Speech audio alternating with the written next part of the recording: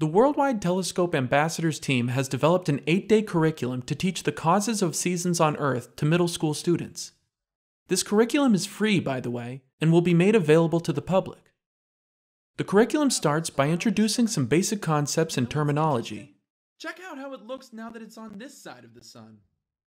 Let me blow the earth and sun up so you can see better. And then moves on to understanding how the sun moves through our sky.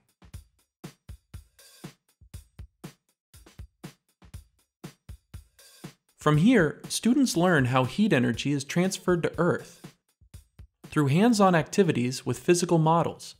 So now the person can look straight ahead almost and be able to see the sun without looking, lifting up their head at all. So we're going to point to the sun with their other arm to show the difference in the sun angle. Throughout the eight day curriculum, instructor led discussion is blended with physical models as well as these media resources you see here. Places in the northern. Okay.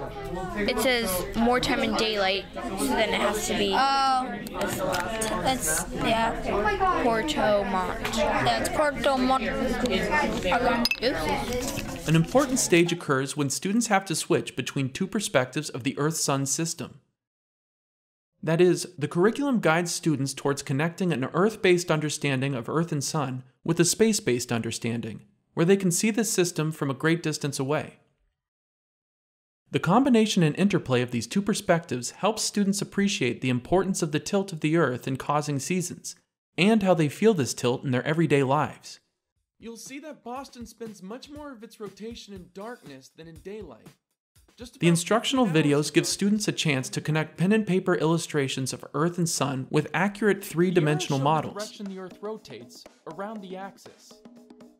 This connection helps prevent the misconceptions that students sometimes draw from simplified or misleading diagrams in textbooks.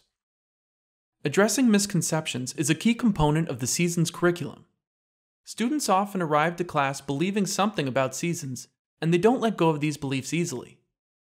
Once we have built a comprehensive and digestible explanation of the cause of Earth's seasons, we can then dissect these misconceptions and gently remove them from existing mental models by the end of the curriculum, students are left with a simple but complete picture of why it actually gets warmer in the summer and colder in the winter.